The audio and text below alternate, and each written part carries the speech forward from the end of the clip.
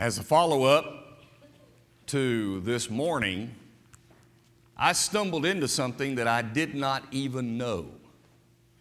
While I was talking, you, if you weren't here, we were talking about how Solomon was talking about how selfishness is a problem in life, and I was comparing that to the phenomenon in our technology age of selfies, where you take a picture of yourself. I did not obviously know this, but apparently today was Selfie Sunday. Now, and I don't understand all this technology stuff, but I, I, I sort of get it. There's something called a hashtag.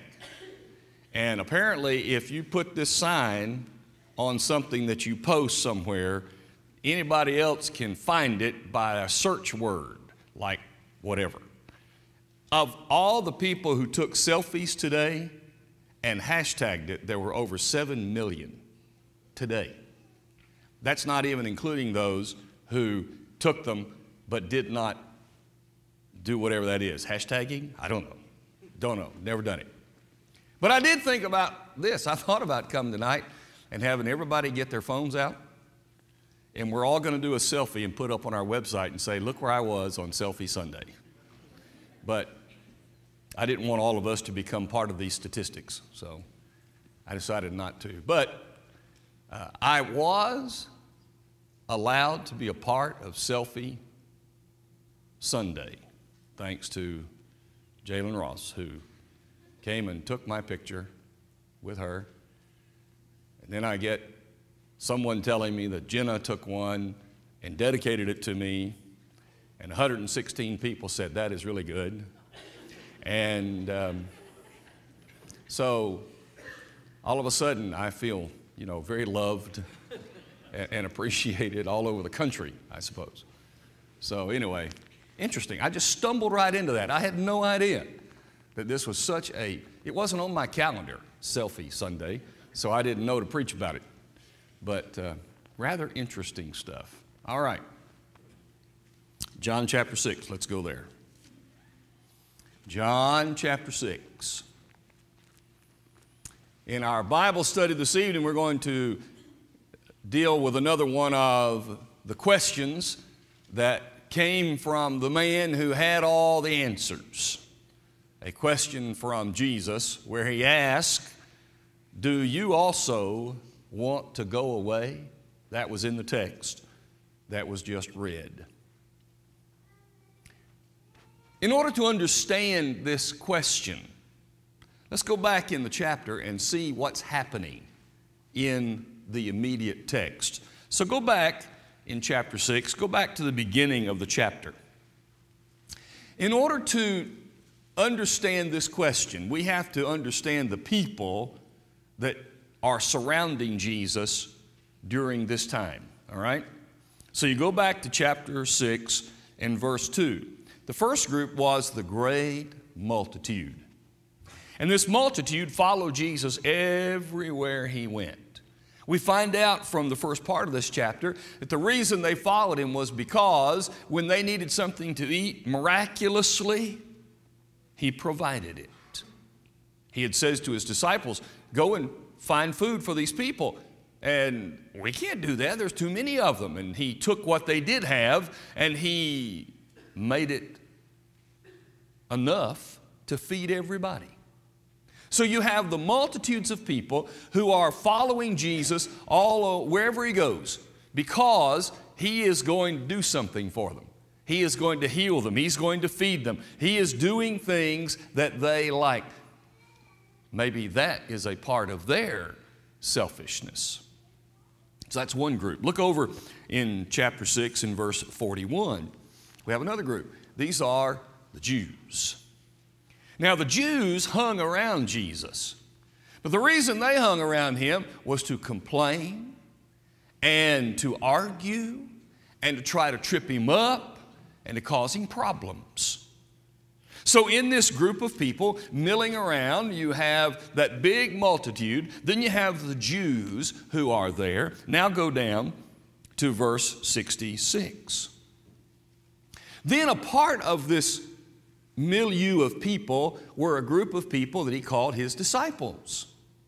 So you have the multitude, you have the Jews, and then a part of that group were the disciples. And in this case, the multitudes kept coming for what he did for them. The Jews kept coming so they could argue with him, and the disciples left.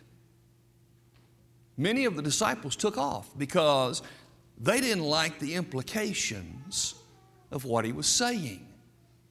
And what he had just talked about was a commitment level. You have to eat of me. You have to take me in. You have to devour me. Jesus has to be your life. And they, they didn't understand it. Too hard.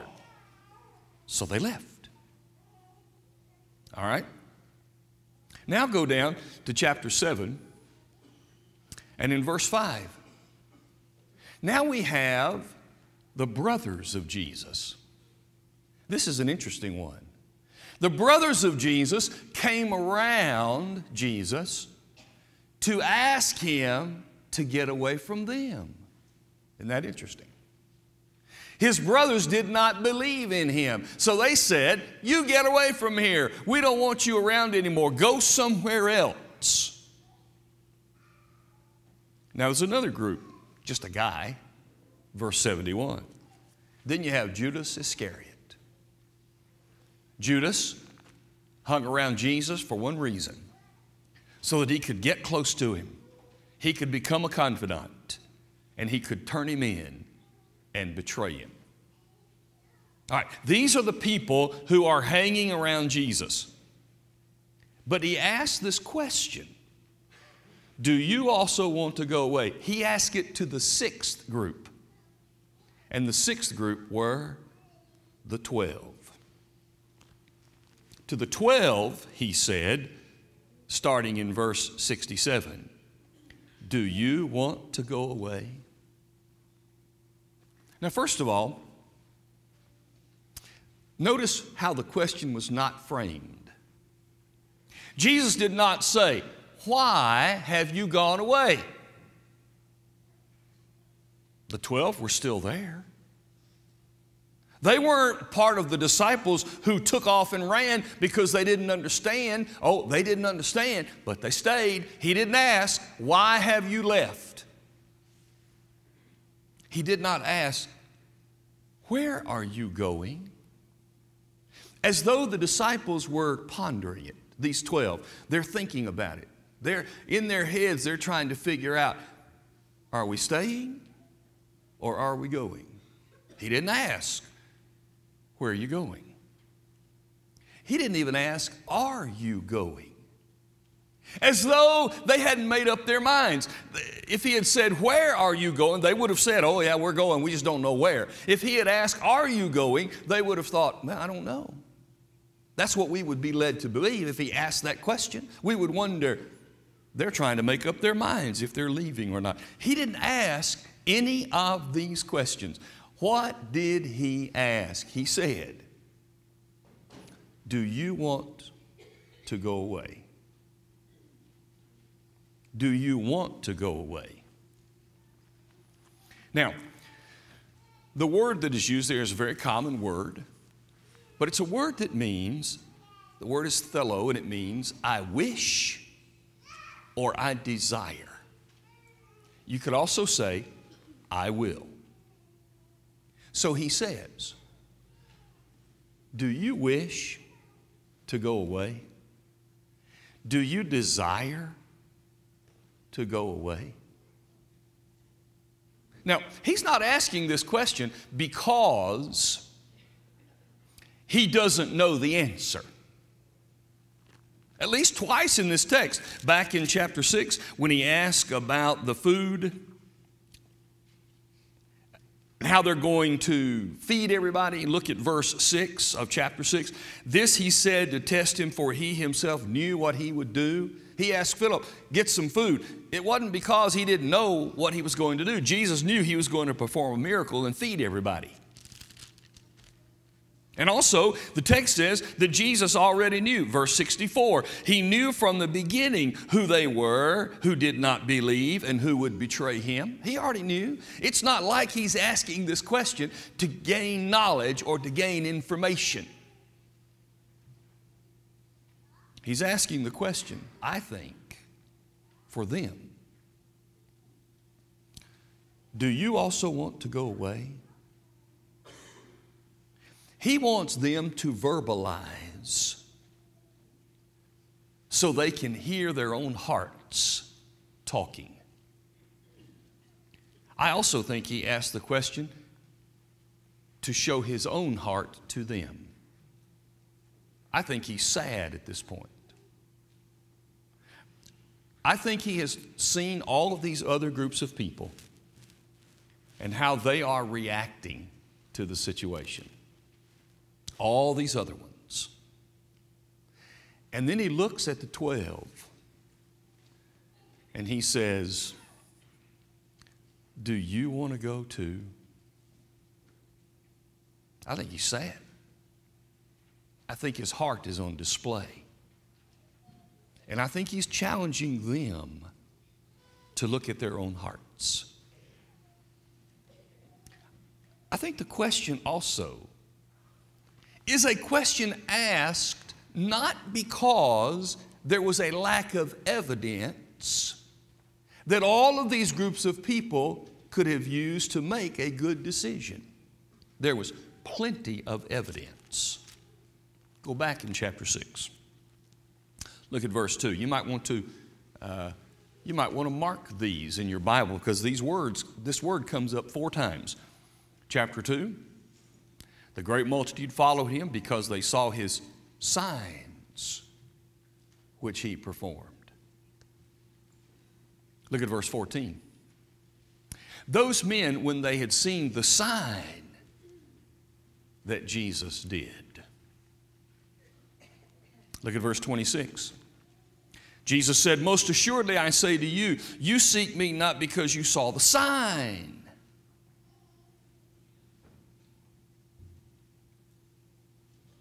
Look at verse 30. They said, What sign will you perform?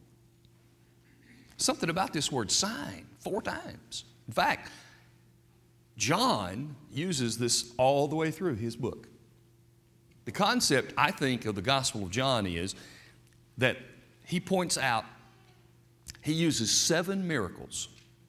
John uses seven miracles in his book to show something a particular thing about Jesus at each moment. Seven different things.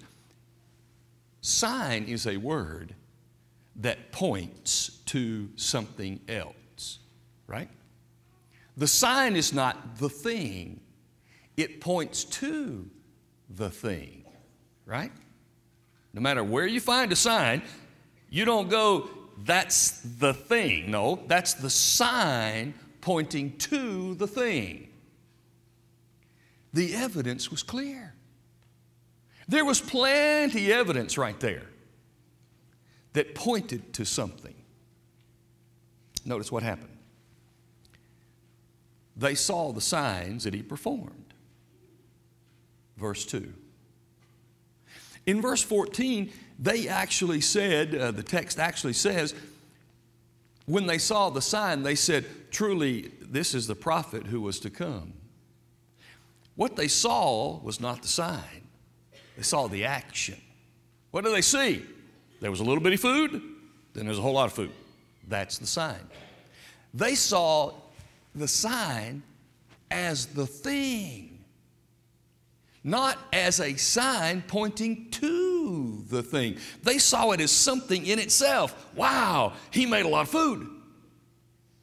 Instead of, here's the sign pointing to something else. In fact, Jesus calls their attention to it, does he not? Verse 26. Why did you follow me? Not because you saw the signs. Oh, wait a minute. Didn't verse 14 say they saw the sign? Yeah. What is the point? Jesus is making the point that you saw the sign as the something. You didn't see the sign as pointing to something. You didn't see the sign, you just wanted to eat. So, what happened in verse 30? They said, When are you going to do a sign? What? Isn't that interesting how that worked? Isn't that fascinating how that worked? This interplay between they saw the sign, they didn't see the sign. You know, that song just popped in my head, right? I saw the sign, it opened up my mind, I saw the sign. Don't remember anything more about it, don't know who sang it, don't know what it's about. It may fit this, I don't know. I think about it. The point is, I'm, I'm mulling over in my head. I'll just carry on the conversation while I'm thinking. But here's the point the sign that they saw, they saw it here, not as it was doing this. Okay. Now, all of that is just, I think, factual background material. So now, as I look at this chapter and as we look at it, what are we supposed to do with it? We're supposed to see pointing. We're supposed to see something pointing for us. It should be a sign for us pointing somewhere. And you know where I think it's pointing? I think this chapter is pointing right here. And you can do that to yourself. This chapter is pointing right here. Notice how so. Here is the sign asking you and me a question. One, are you like the multitudes? Are you hanging around Jesus just because of what he can do for you? Are you using him? Are you one of these people just hanging around just because you're going to get something in a way that just is all about you and nobody else, and not even about God? It's not even about Jesus. It's just about me. I want to be fed. I want to be clothed. I want to be taken care of physically. Are you one of the multitudes? Number two, I think this chapter is pointing as a sign right here, and it's saying, Are you like the Jews? You're here. You're hanging around. You're in the group. You're always there. But you keep complaining and griping and being upset, and nothing is ever good enough, and you're angry and you're mad. Is that sign telling you that? Number three, is it pointing at you and saying, at one time you believed, but now you've gone. Your faith has waned, just like these disciples who walked no more with him. Your faith is gone. Maybe because the difficulties of life have beaten you down and you didn't maintain your faith. Maybe because you've listened to academic people make statements that don't seem to fit with the God of the Bible, and therefore your faith is gone. Are you one of those disciples who's running away? Are you one of his brothers? The interesting thing to me about the brothers was they wanted him to go. They didn't leave. The brothers didn't go. They wanted him to go. You know why I think that is? I think that's because him hanging around them made them feel bad. That's what I think. I think Jesus being in their presence made them feel bad, and therefore they want him out of the way because to push Jesus away, then I don't feel bad. Because his life magnified that their lives were not right. So I think they wanted him to leave so they could feel better. Are you like one of the brothers? You just rather get Jesus away so that you don't feel guilty. You don't feel less committed. You don't want to feel that lack of commitment. You don't want to feel that I'm not really into this. So just shove him away and I don't have to feel it anymore. Are you Judas? There's probably some. I think there are congregations of the Lord's people all over where Judas sits. And they have gone in and destroyed an entire congregation and, and, messed up entire groups of people just because they are angry. I dare say not one of them really fits most of us. But the final sign was this Am I like the 12? Am I here? I sit in the pew. My name's on the roster. My picture's on the website in the online directory. I come to Bible class. I'm here in worship. I get my Bible out and read every now and then, and I pray over every meal. But you know what? I'd rather not be doing this. And that's his question to his 12. Would you rather not be doing this? Uh, physically, you're here. But emotionally, would you rather be somewhere else? Are you tired of this? Do you really want to do this? That's the final sign pointing at me. Do I really want to be here? Or is this my duty? Is this what I've just traditionally done all of my life? Is this what I do to keep my family happy? Is this what I do to make myself feel not so guilty anymore? Do you really want to be here? Or, as Jesus said, do you want to go away? I think that's John chapter 6. Well, think about that question, see if it fits what you think is going on there. I I really am enjoying these studies on my own. I'm enjoying uh, the opportunity to understand what these questions are about. And uh, I'm still looking if there are others questions that, that you come across that you want me to talk about. And we can study together. We certainly will do that. Uh, before we leave tonight, maybe someone wants to obey the gospel. Because without obeying the gospel, we are lost, Second Thessalonians chapter 1. So tonight, if you are ready, to put on your Lord in baptism, being buried in water to wash away sins, or if you're ready to uh, have the Lord take the burdens and cares of life away, shared by these brethren, we're here for you as we stand in